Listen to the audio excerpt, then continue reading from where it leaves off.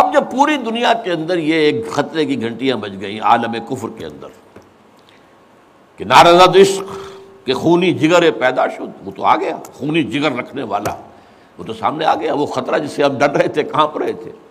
इसलिए कि आपको मालूम है कि जब यू यूएसएसआर का खात्मा हुआ है, और उसके बाद जो है नेटो को असर नौ ऑर्गेनाइज करने की बातें शुरू हुई तोसी की शुरू हुई तो किसी से ने पूछा, नेटो चीफ से, गवर्नर इन चीफ से कि अब आप किसके लिए? आपका जो दुश्मन था, जिसके लिए आपने सारे धंधे बनाए थे, सीटो भी था, सेंटो भी था, और नेटो भी था, और सबसे बड़ा मामला नेटो का था।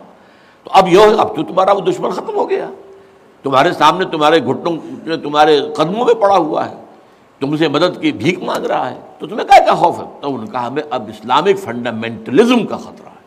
उसके लिए गोया के they started to gird up their loins अपने जो है कमर कसने के लिए उन्होंने प्रोग्राम बना लिया। और इसके लिए नोट कीजिए नाइन इलेवन का हादसा फाजिया खुद करवाया। ये साबित शुदा हकीकत है इस वक्त। इसमें तालिबान का तो खैर ज़ीरो परसेंट भी कोई इम्कान नहीं। इसमें अलकायदा का भी कोई हिस्सा नहीं। ये ज़रूर मालूम होता है कि उनमें जिन लोगों को उन्होंने अपने आगे रख लिया था दुनिया को दिखाने के लिए, कुछ नौजवान किस्म के जो पायलट्स थे जिन्होंने छोटे छोटे जहाज़ों पर चिड़ियों जैसे जहाज़ों पर तरबियत हासिल की थी। दिखाने के लिए इन्होंने किया है ये। उनमें से किसी का ताल्लुक गालिबन कोई ताल्लुक था जो कि उसामा इबन लादिन के साथ जिस पर कि उनको उस, उसने ये कह दिया था कि अनकरीब एक बहुत बड़ा वाक़ होगा। बस इस हद तक बात सही है। बाकी कत कतअन कोई नौसाला इबन लादिम का हिस्सा। ये करवाया मोसाद ने न्यूकॉन्स ने सी आई ए ने क्यों करवाया? इसलिए कि उनके सामने अब अफ़गानिस्तान के अंदर एक बहुत बड़ी फौज कशी करने के लिए एक बहुत बड़ी ताकत की ज़रूरत है। और ये बहुत बड़ी ताकत जो है, उसके लिए अमेरिका का जो पब्लिक ओपिनियन है तैयार नहीं होगा, जब तक कि इतना बड़ा कोई हादसा ना हो जाए।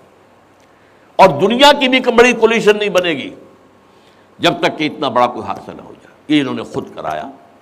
इसलिए कि इससे पहले एक और बात जो है वो बीच में आ गई है, लेकिन मैं बयान कर दूँ कि ये तो नाइन्टीज़ के अंदर, लेट नाइन्टीज़ में बात हो गई थी कि अमेरिका में जो टॉप के थिंक टैंक्स थे वो सोच रहे थे कि इक्कीसवीं सदी में अमेरिका इस ग्लोब की सुप्रीम सुपर पावर कैसे रहे। अपनी इस पोजीशन को जो हासिल हो गई है इस वक्त, और भी मज़बूत करे। अभी रशिया और चाइना तो उसके दायरे इकतदार से बाहर है। अभी भारत भी तकरीबन बाहर है। लेकिन आगे बढ़ाकर ग्लोबल पूरी तरह, और कैसे हो ये कि उसे बरकरार कैसे रखें? तो इस पर उनके थिंक टैंक्स थे, और उसी पर उनका एक मकाला शाये हुआ था, America needs a Pearl Harbor America को एक पर्ल हार्बर जैसे वाक़े की ज़रूरत है। अब ये तारीखी बात समझ लीजिए। अमेरिका दूसरी आलमगीर जंग तक सेकेंड वर्ल्ड वॉर तक इंटरनेशनल मामला में कभी आया ही नहीं था। वो तो बड़े आराम से था, दो ओशंस के दरमियान। इधर अटलांटिक है, इधर पैसिफिक है। ज़ाहिर बात है कि अन करीब करीब कोई दुश्मन है ही नहीं। लिहाजा उसे तो अपने, अपना मैार ज़िंदगी बेहतर बनाओ, अपने हालात बेहतर बनाओ, अपने इन्वायरमेंट्स बेहतर बनाओ, अपना ये करो, अपना वो करो, बस। सेकेंड वर्ल्ड वार में बड़ी शरीर ज़रूरत पैदा हुई एलाइस को, जब जर्मनी और जापान जो है, उनका भुरकस निकाल रहे थे। कि किसी तरह अमरीका को आमादा किया जाए चर्चिल भी गया, उसने भी खुशामदे की। ये भी कहा, जान लो, अगर हम ख़त्म हो गए तो नेक्स्ट बारी तुम्हारी होगी।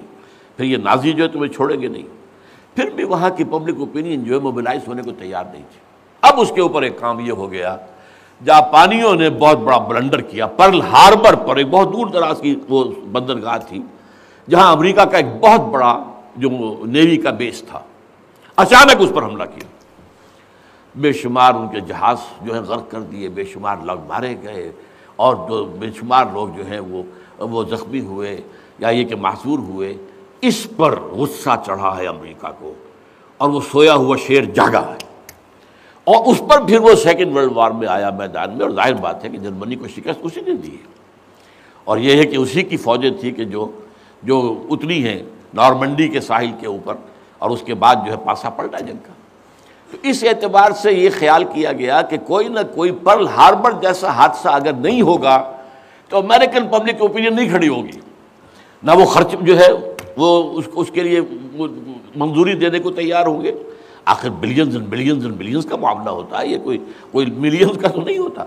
लिहाजा उसके लिए ज़ाहिर बात है कि वो कांग्रेस और सेनेट और ये और वो ये सब जो है ये अगर उसके लिए मंजूरी दें तभी तो होगा ना। तो अमेरिका नीड से पर्ल हार्बर ये बात जेब में रखिए। इसलिए उन्होंने खुद वो पर्ल हार्बर अमेरिका में कराया और इसमें फिर पूरी दुनिया में दहशत गर्दी का खतरा और दहशत का खौफ और सबसे बढ़कर अमेरिका में। जो जो सिक्योरिटी मेजर्स लिए गए हैं अमेरिका में, उनका आप तस्वुर नहीं करते। बिलियंस और बिलियंस ऑफ़ डॉलर्स जो एक एक शख्स की तलाश ली जा रही है, फ़ोन टैप करने की भी इजाज़त दे दी गई, जो अमेरिका में नहीं था। वहाँ जो पर्सनल आज़ादियाँ थी, इनफरादी आज़ादियाँ, उनका बड़ा चर्चा था। वो तो उनका बड़ा चैम्पियन था। लेकिन ये कि सारा जो है उनकी प्राइवेसी का भी बेड़ा गर्क, उनका ये सब कुछ, उनके ऊपर पाबंदियाँ और जो कुछ भी बाहर से आने वाले हैं, उनका जिस तरीके से वो अपने एयरपोर्ट्स के ऊपर जो है तकरीबन नीम बराहना करके उनकी जो है तलाशी लेना, ये वो, ये सारा कुछ। और उस पर जो उन्होंने अपने पूरा निज़ाम बनाया इंटेलिजेंस का और मालूम पहुँचाने का, उसके ऊपर उनका बेशुमार खर्च हुआ। बहरहाल इस पे इसमें ईसाइयों की सलीबी जंग का जज्बा भी शामिल कर दिया गया। एक अमेरिका की supreme soul, supreme power on earth होने का मकसद। नंबर दो, सलीबी जंग का जज्बा सोया हुआ, उसे भी जगाया। ये बुश ने भी कहा था, लेकिन बाद में उसने कहा, गलती हो गई, उसने लफ्ज़ वापस लिया था, क्रूसेड। लेकिन यह है कि फिलाडेल्फिया ये जो अमेरिका का एक अहम शहर है, वहाँ से एक मजमू, एक शाय होता है, माहनामा फिलाडेल्फिया ट्रम्पेट। उसके मुदीर ने, ये प्रोटेस्टेंट्स का है। और जो इवेंजलिस्ट के नाते हैं वहाँ पर, जो कि ख़ास तौर पर प्रचारक हैं इंजील के, ये उनका रिसाला है। और उन्होंने ये लिख दिया था, ये मैंने अपने दो किताबचों में कवर पर शाये किया हुआ है, वो बहुत खूबसूरत कि डोम ऑफ़ द रॉक जो है, जो गुंबद सक्र सकरा है तो उसके ऊपर जो है बड़ा खूबसूरत तस्वीर देकर कि many people think that crusades are the thing of the past over forever but they are mistaken तो दुनिया में तैयारी हो रही है लास्ट क्रूसेड की। ये उसके अपने अल्फाज और ये पूरा एक मकतबा फ़िक्र है। एक पूरा उनका जो है बहुत आबादी के अंदर बहुत इन्फ्लुएंशियल हिस्सा है। प्रोटेस्टेंट्स प्रोटेस्टेंट के अंदर खासतौर बैप्टिस्ट बैप्टिस्ट के अंदर इवेंजलिस ये नियोकॉन्स या बॉर्न अगेन क्रिश्चियंस ये असलाहत जो हैं, अगर आप पढ़ते हो, ये सब एक तबका है। जो असल आलयकार है यहूदियों का। बहरहाल तो उसने सलीबी जंग का भी जज्बा शामिल कर दिया, जिसका नतीजा क्या निकला? तारीख इंसानी की अजीम तरीन कोलिशन बनी कभी दुनिया में इतनी बड़ी कोलिशन नहीं बनी, जितनी अफ़गानिस्तान के खिलाफ बनी अमेरिका है, यूरोप है, बाकी सारी जो मगरबी क़वतें हैं, और उधर ये है कि रशिया की भी आशीर्वाद हासिल है, चाइना की भी आशीर्वाद हासिल है।